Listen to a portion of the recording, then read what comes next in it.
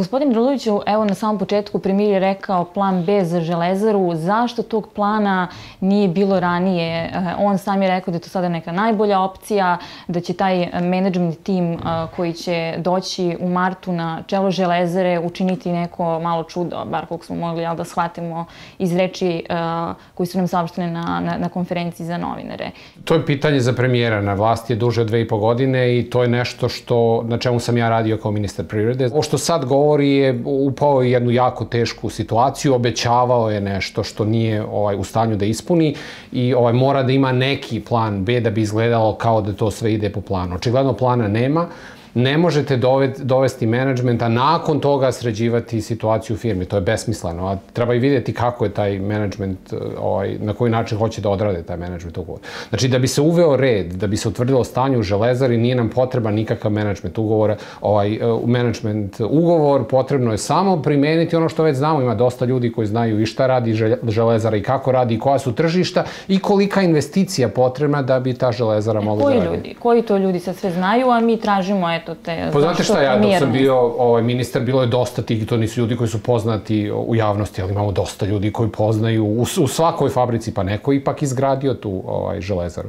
Inače, stanje u železari jeste teško već godinama, međutim, vlada raznim demagogijama i navodnom brigom za radnike produžava tu agoniju, pravi ogromnu rupu u budžetu i to ovaj, praktično ne ide nigde. I e sad, hajde da to objasnimo. Dakle, nije o, građanima sasvim jasno zbog čega je ta firma u toliki velikim dugovima. Dakle, šta je, šta je tačno problem sa železarom? Da li to samo ti radnici ili nedostatak sirovina okolo u Srbiji? Mi neke uh, pa stvari uvozimo. sirovine uvozimo Ma ne neke, nego sve sirovinu uvozi železara, ima i subvencionisanu cenu struje, znači mi jako puno plaćamo to. Problem je što je proizvod železare nije uh, ovaj, ne može da, da napravi od železare profitabilnu kampaniju ako se ne izvrši velika investicija u tehnologiju i ako se ovaj, nove vrste čelika, odnosno čelik koji se traži danas na tržištu, ne, ovaj, znači ne napravimo na, promjenu tehnologije, da možemo da se takmičimo na tržištu sa tim proizvodom. Međutim, i to je rizik I sad kad bi investirali recimo 200-300 miliona evra, nakon toga bi se žele, železara došla u situaciju da može da se takmiči na, ovaj, sa drugim konkurentima, ali onda je opet pitanje da li će uspeti u toj utakmici, da li ti drugi imaju možda malo dublje džepove, pa mogu da spuštaju cenu. Znači, ulazite u tržišnu utakmicu. To e sad, je jako rizično. E sad, šta to znači? E, da li ste vi, kad ste bili u Ministarstvu privrede, procenjivali neke rizike? Da li je sad pametno da država ulaže mm -hmm. i da toliko rizikuje, Uopšte nismo došli do toga, zato što prvi korak nismo mogli da sprovedemo, zato što to nije dozvoljavao Aleksandar Vučić i ovaj, e, Srpska napredna stranka preko kadrovske komisije koje nije davala da se promene stvari u železari. Znači, svim tim preduzećima u restrukturiranju upravlja nadzorni odbor koji donosi odluke. Taj nadzorni odbor je politički postavljen od strane kadrovske komisije u vladi.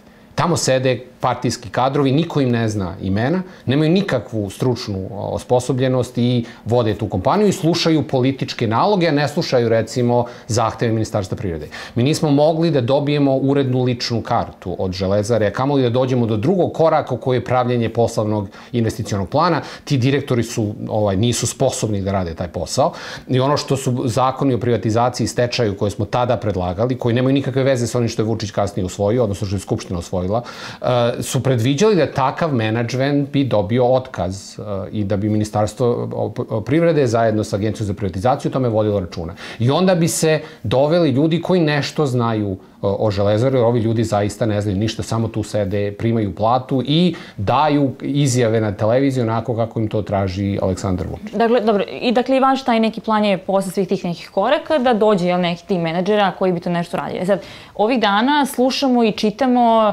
e, i ambasador uh, Amerike u Srbiji je rekao ne znam da li postoji management tim koji će takav ulaz, uh, odnosno troškove koje ima Železara. Ja U svo dužno poštovanje, moći... ovaj, ambasador ambasador zaista nije stručan za taj posao. Restrukturiranje se u svetu radi decenijama. Znači, zna se koji je postupak prvo se sagleda stanje, onda se napravi poslovni plan, a nakon toga mogu da govorim ili o privatizaciji ili o dovođenju menadžmenta koji će to realizovati, napraviti detalje od toga. Ne možete naopako. Ne privatizuje se haos. Inače, i da smo postavili na početku, odnosno uveli red i znali kakvo je stanje, verovatno bi se više kompanija javilo. Međutim, kad premijer tri meseca pre navodno javnog tendera govori o tome kako on razgovara sa Esmarkom, kako se on sa njima dobro poznaje, koja je, koja je svrha javnog tendera? Pa niko više neće se javi.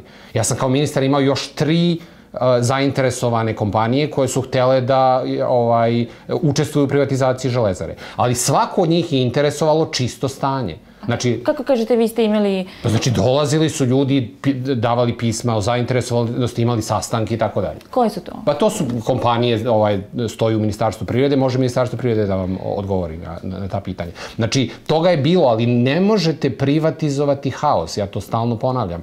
Prvo se uvede red, sve te kompanije hoće da znaju s kojom imovinom raspolažu, koji su dugovi, hoće da vidi kompletno stanje sa radnicima, koje obaveze preuzimaju. Ako imate tehnološki višak u kompaniji, pa ne, ne očekujete, valjda će investitor da dođe i na sebe da preuzme e, pitanje otpremnina i tako dalje i tako dalje. Naravno, ovaj, i tu je i problem Esmarka, ovde ne učestvuje Esmark u kompanije iz Amerike.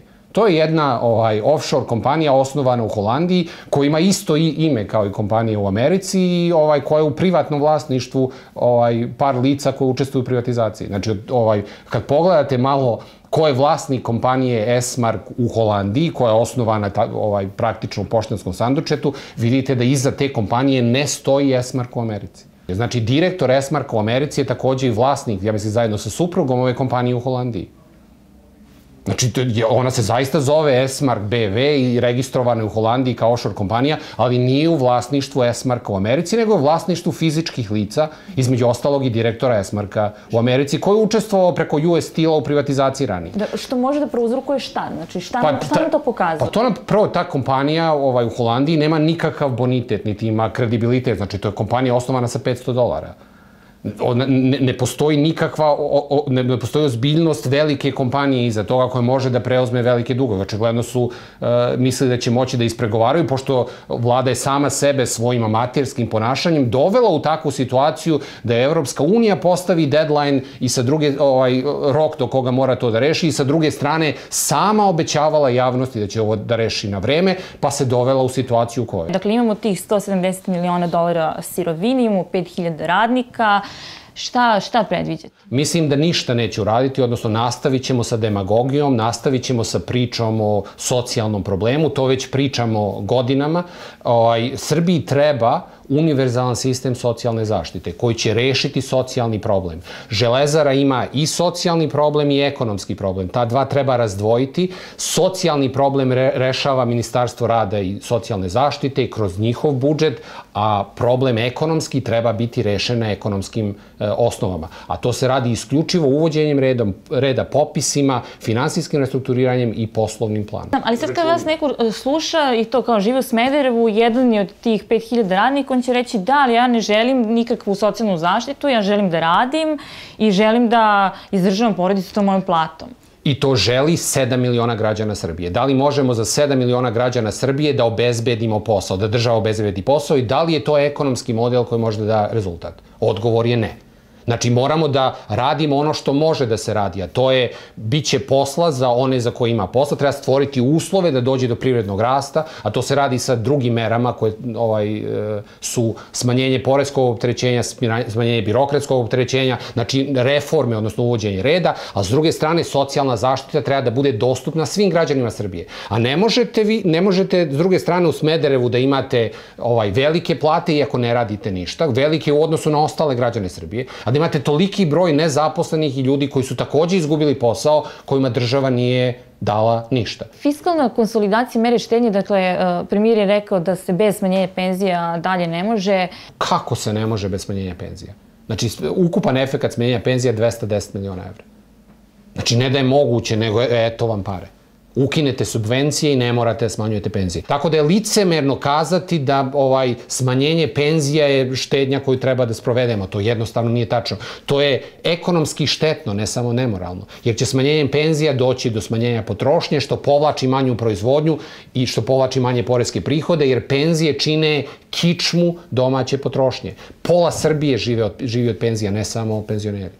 Znači, to je pogrešan korak i ovo je peti put da radimo pogrešan korak. Već četiri puta smo, je Aleksandar Vučić radio fiskalnu konsolidaciju i četiri puta dobio isti rezultat i sada peti put radi isto. Prvo je uh, ovaj, 2012. godine Mlađan Dinkić radio uh, rebalans budžeta za 2012. godinu po, povećao je poreze, ako se sećate, PDV je podignut sa 18 na 20%, ovaj, i smanjena je potrošnja i očekivalo se da kad podignete ovaj, stopu PDV-a dobit ćete veće prihode, jel? S druge strane, smanjili ste neke rashode, pa će vam deficit biti manji. Šta se desilo? Promašio je na prihodnoj strani za 150 miliona evra. Znači, prihodi su bili manji nego očekivani. Pa je radio onda budžet za 2013. i tu su povećani porezi. Digle su se akcize, ovaj, porez na imovinu takođe.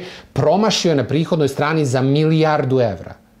Pa nakon toga je radio rebalans budžeta za 2013. po istom modelu, pa je promašio za 300 miliona evra. Znači, ukupno 2013. smo promašili prihode za milijardu i 200 miliona evra u odnosu na plan. A ukupni prihodi budžeta Republike Srbije su 8. Znači, promašeno za milijardu i dvesto. Pa je Mali Krstić radio budžet za 2014. Pa je ga je promašio na prihodnoj strani ponovo za 360 miliona evra. I tad su povećani porezi, ako se sećate PDV, otišao sa 8 na 10% do donja stopa, neki drugi porezi, akcize povećane.